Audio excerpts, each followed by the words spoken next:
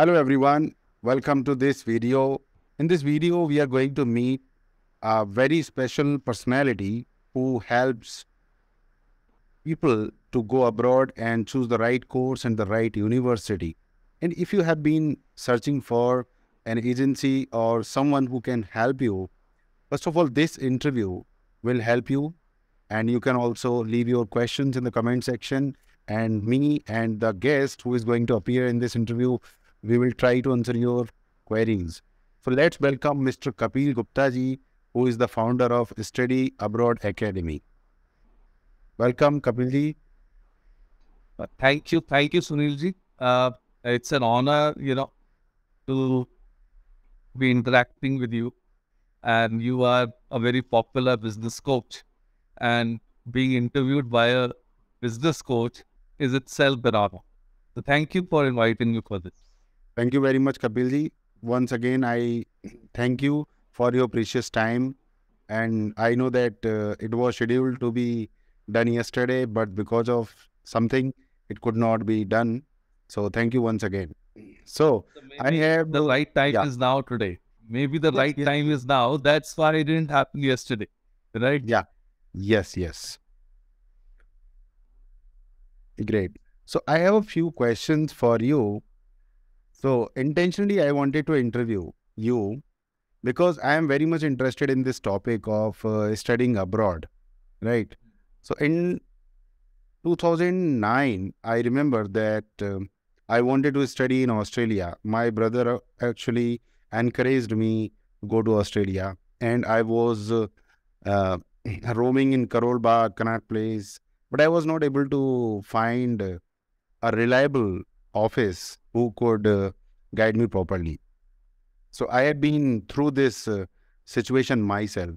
So I have few questions. First of all, the situations have changed in the last uh, 10 to 12 years and especially after corona. You must agree. So now the question is uh, is it still relevant to study abroad or uh, we can uh, do it from India itself? See, okay. That's like a post-covid question.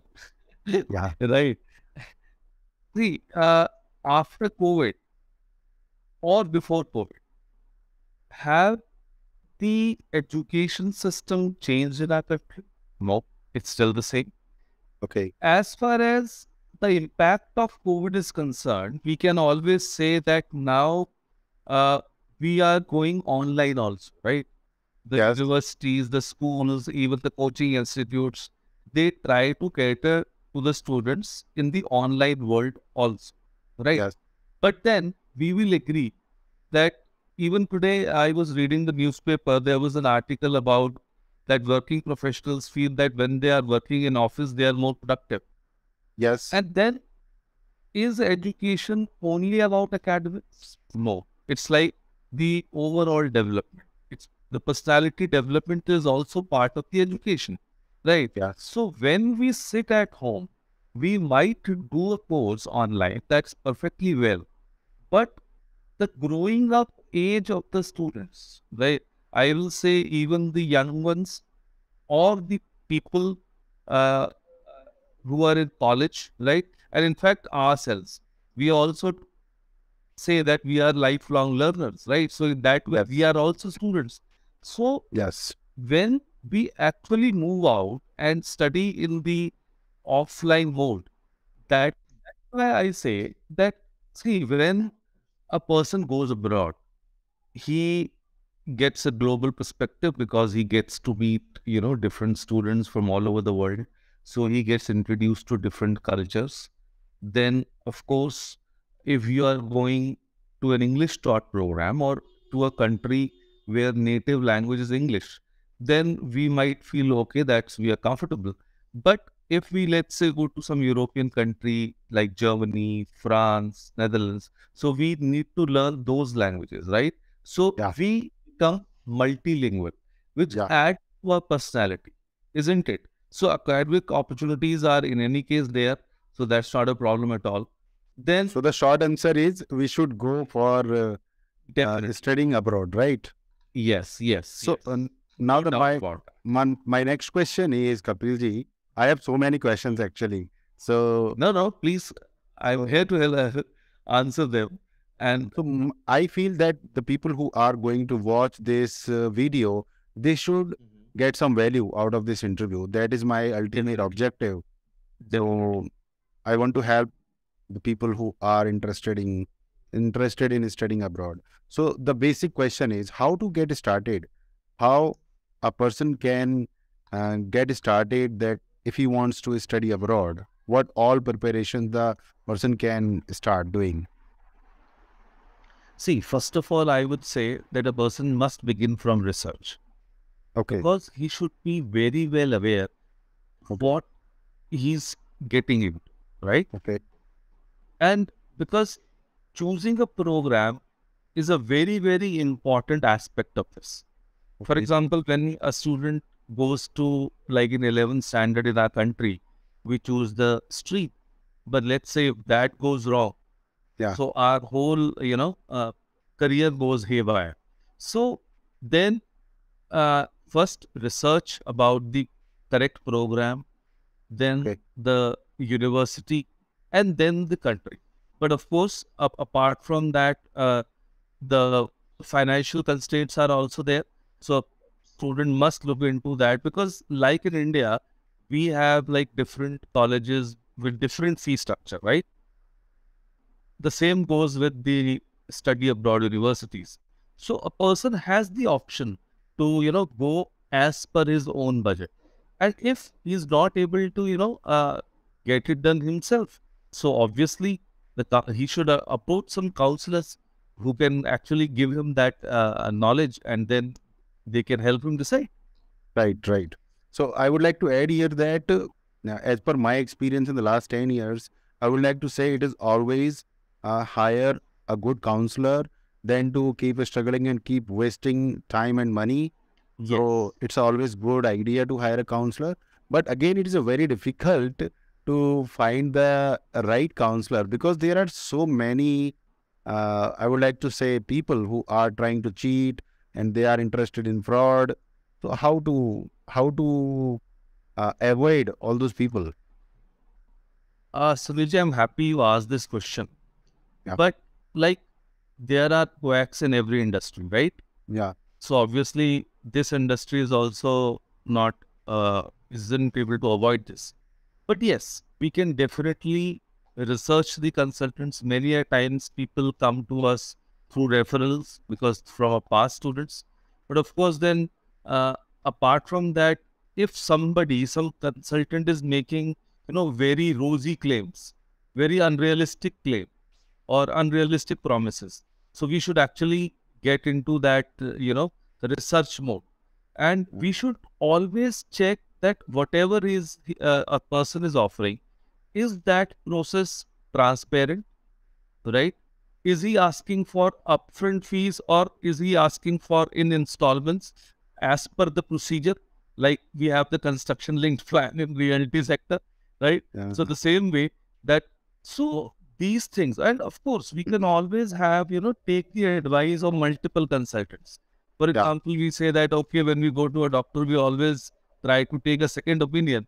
So we might talk to multiple consultants and check uh, that if the person is giving the right you know advice or not.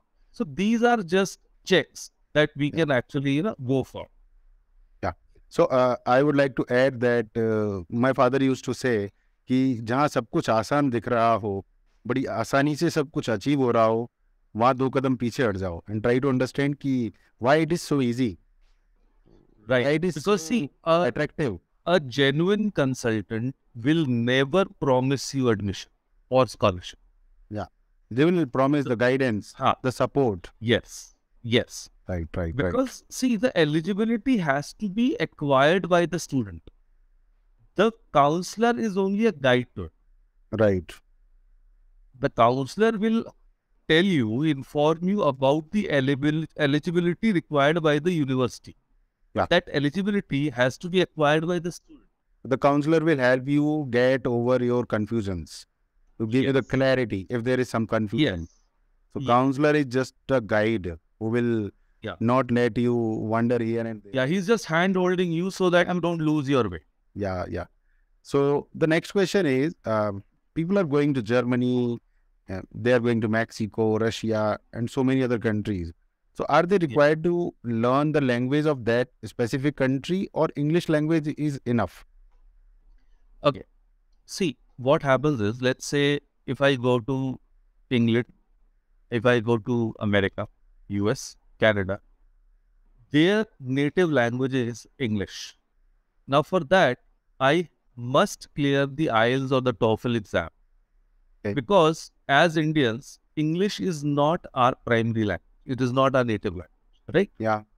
But let's say go to any other country in Europe, for example, France or Germany.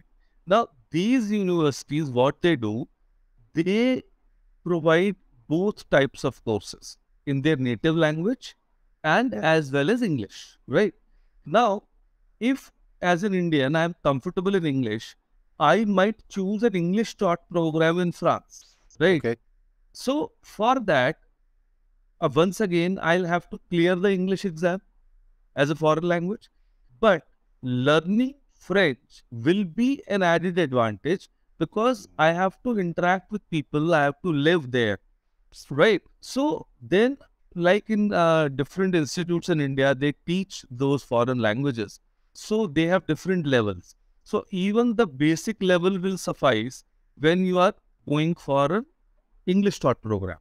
But obviously you must be an expert if you are going for that particular language or a German taught program or a French. So that's that depends. What is a student's requirement? Yeah. So as per my understanding, IELTS exam is also mandatory because they want to make sure that when you are there, you are not suffering, that you are able to understand what other people are saying, so that you have to live there. Na? It is not just a classroom. You have to live life there. And in order to live life there, you must be able to communicate, exchange your ideas, have fun, party, and everything. So it is I a would good like to add idea. one more thing here. Yeah. See, in India, we have like CBSC and different state boards, etc. Yeah. And then we have the IB, which is the International Baccalaureate, which is the international board. Now, if a student is studying from the IB board in our country, then he does not need to do IELTS. Okay. That is not mandatory because he's already studying through the international board pattern. But yes, even if that student gives, it will be an added benefit. It is going to be easier. Yeah. So now there is a question that people I have never been abroad. First of all, you have to note this. I was going to USA, Kentucky in 2009, but something happened in my family. My father left us, so I could not go. And now I don't want to go as an employee or as an student. So I will definitely go as a traveler, as a tourist. Okay. Now the situations have changed. Okay. So now my question is: um, Is life really fancy there? for the students or they face some challenges there are some problems they never share with their families or with the people in india so how is the life there See, uh, okay, great one. See, the thing is, we always try to go for a more developed country than ours, right? Yeah. And of course, I will say the first shock that Indian students get is the cultural shock, right? We can say the moment they step their foot on the foreign soil, their life changes. So that adaptability must be there. And obviously, if we stay, we are we are uh, we plan to stay in another country for like two years or three years. We must be in the adaptive mode. Only then we can make our life easier.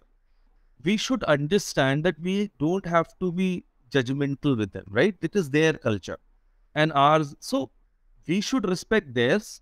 And we are also like, uh, as students uh, studying there, we are the brand ambassadors of our own country right So- right. we can definitely share our culture with them and at the same time respect theirs. Yes, in the initial stages, students uh, do feel homesickness, right? And then a certain, uh, you know, formalities need to be fulfilled. And in fact, that is one thing which I am planning in my niche that I'm actually in the process of building a community where a counselor job will not end at the time like when we have given admission. Yeah, The yeah. formalities are complete. But when a student steps, you know, on the foreign soil, we can do hand holding there also. Because I am actually working with 30 countries. So I do plan to, you know, have like 30 chapters, right? Where my past students, new ones, or even those Indians who want to volunteer in this. So it's all about empathy, right? Helping the kids. So if they can, if they want to extend their hand to those students, so it will be great. A kind of community where they can get the help. Yes. They Yeah. can help, further help. Great idea, sir. And actually, I was uh, reading one of the articles online maybe two, three years ago. They were talking about the same concept that even after students have got the admission, we are not going to leave them. We are going to handhold them for their entire uh, um, Yeah, time. that is very They are there. required. So I I was uh, reading about that. The next question I have is: uh, uh, Do you also help students in India to get higher education? Uh, see, we don't have any tie-ups because Okay. we are counselors. So we do guide them, like uh, in what course they should uh, take admission or like which program of study should be there. But we are not like into, uh, for example, in abroad also, we are not like giving placements, right? In India also, we can only suggest the universities. But yes, if they need any help regarding the admission uh, in fulfilling the admission process, that we can help. But admission is like their eligibility and the university's initiative. Got it. Thank you very much, Kapeelji. Now the next question is: uh, There are so many students uh, in India who have this query. They want to go abroad and they don't have enough money. So, is there any way for the people who cannot afford that they can still go? Is there any way for that? Yeah. Thanks for asking this question because yes, that is the primary concern of many students. All right. Yeah. See, uh, we can address this question in multiple ways, right? Just like in India, uh, we have government colleges uh, whose fees is very less, right?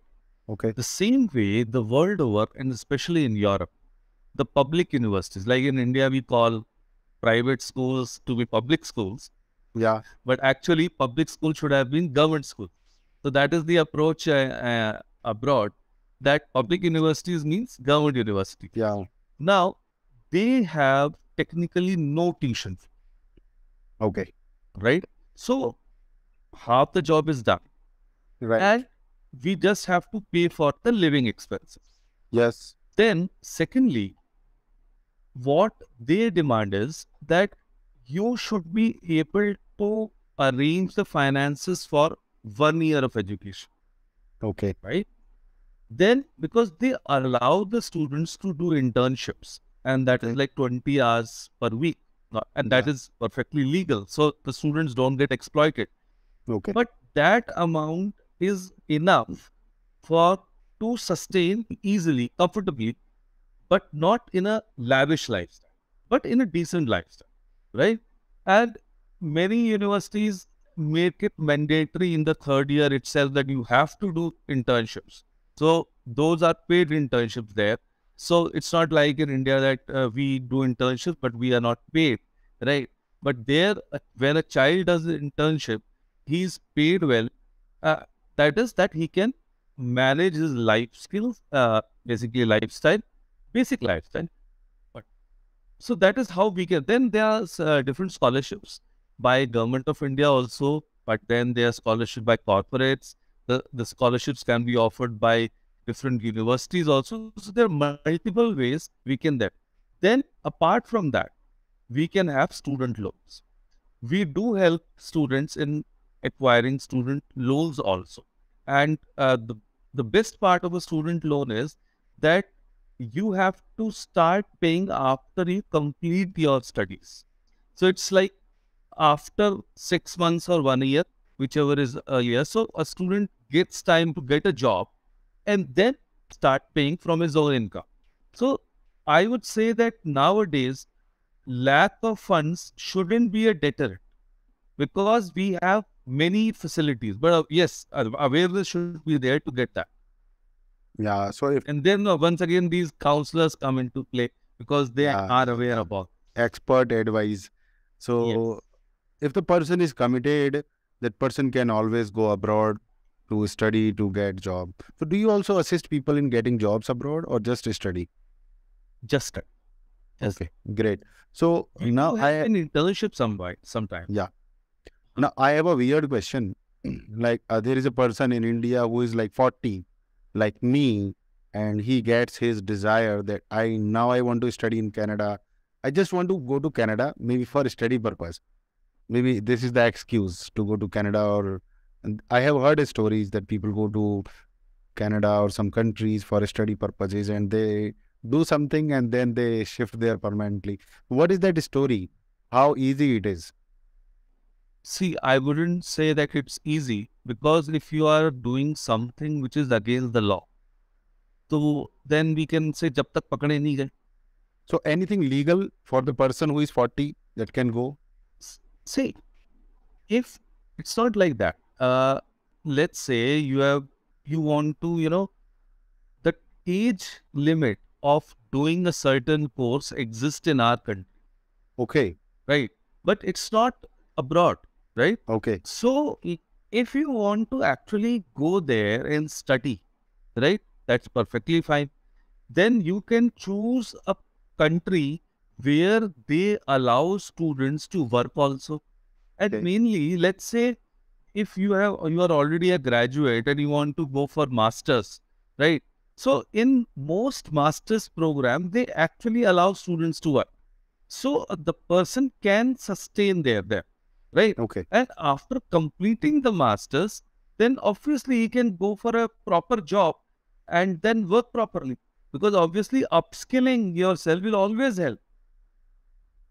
So, So it's a good. Why it's good to not know. go the year? Then in in India we say that uh, masters is for two years, Yeah. but abroad you can do it in one year also.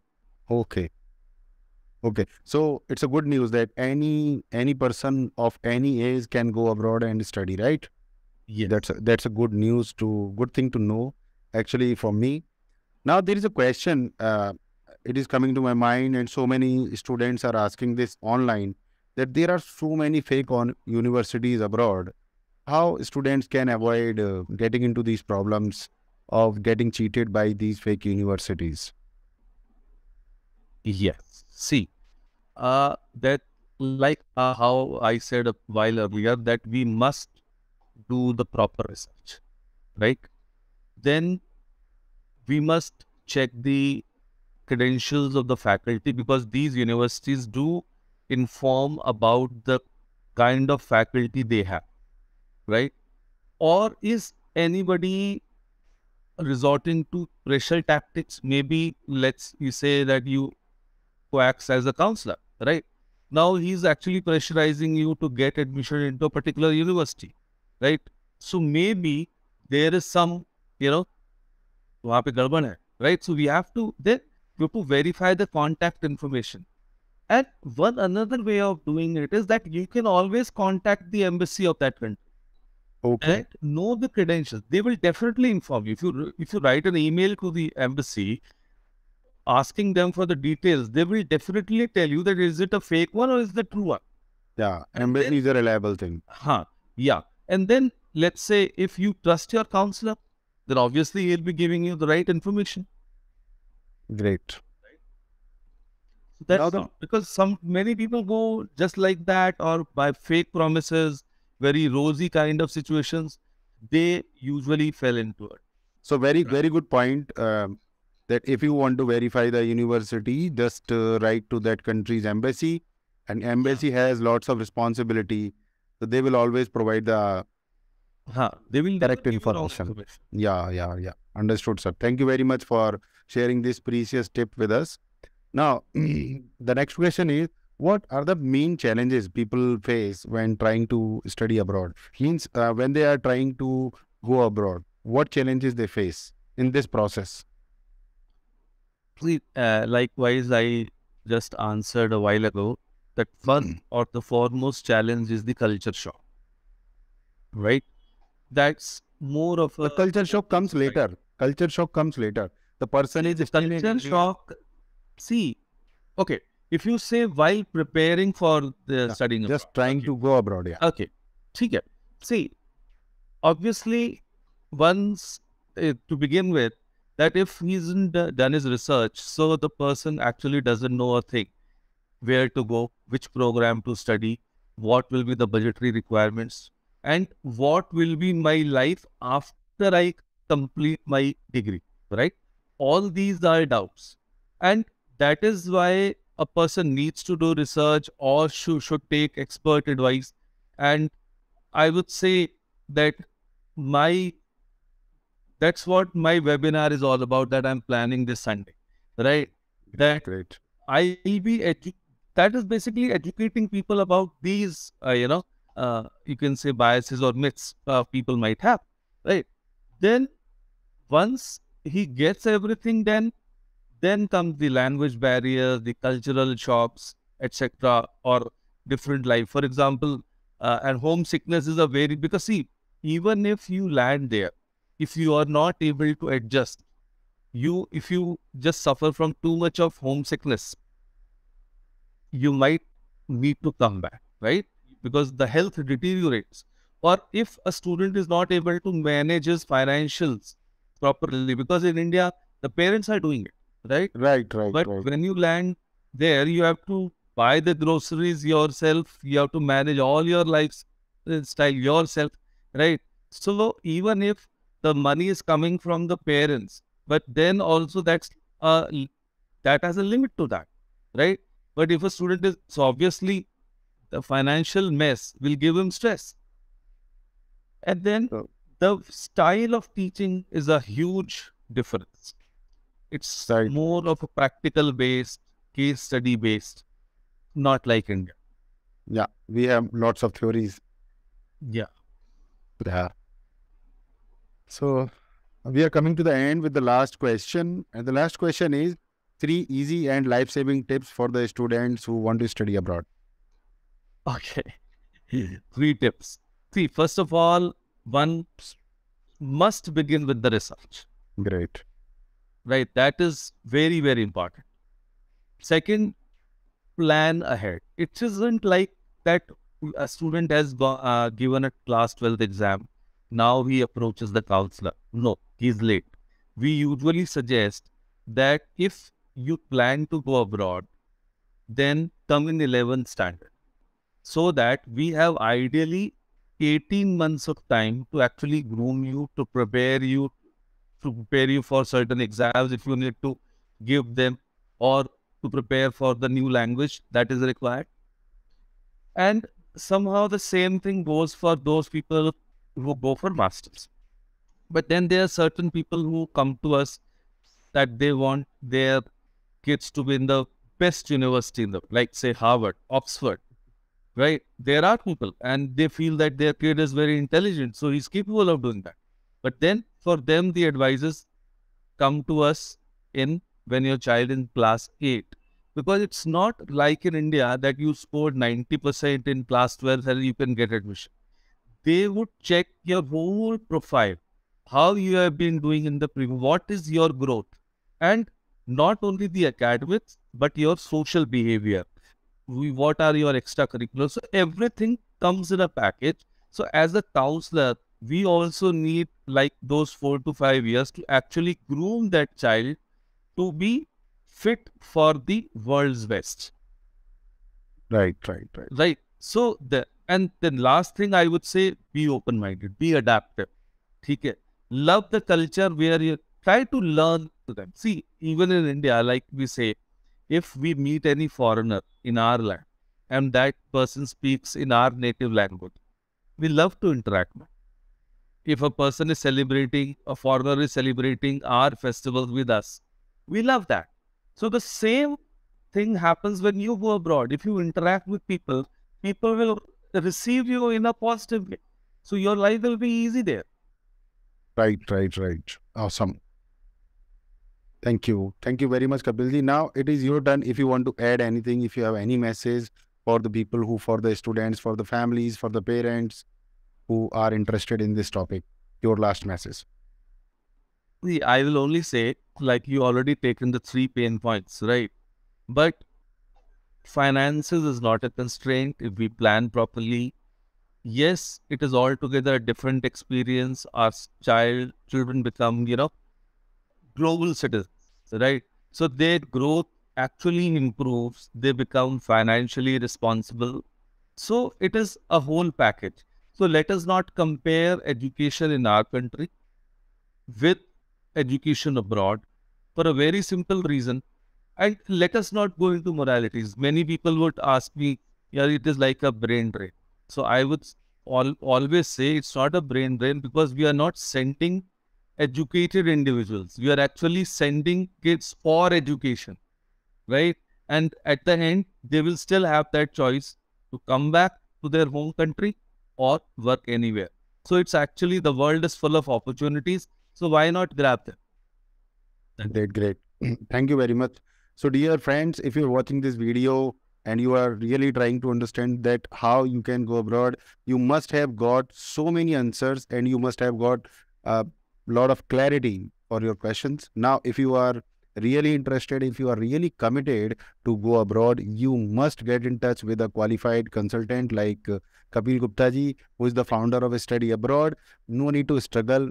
He has great experience he has been helping thousands and thousands of people so i am going to put the description put the link in the description just click on that link and you will be able to attend a free session by Kapeel Gupta ji and you will get much more information in that session. Once again, I would like to say thank you Kapeel ji for uh, coming. Definitely, I would like just add one thing. Yeah, sure, sure. Because if students are uh, keen on knowing this, I am conducting a session on Sunday at 11 they can definitely connect with me and join that session.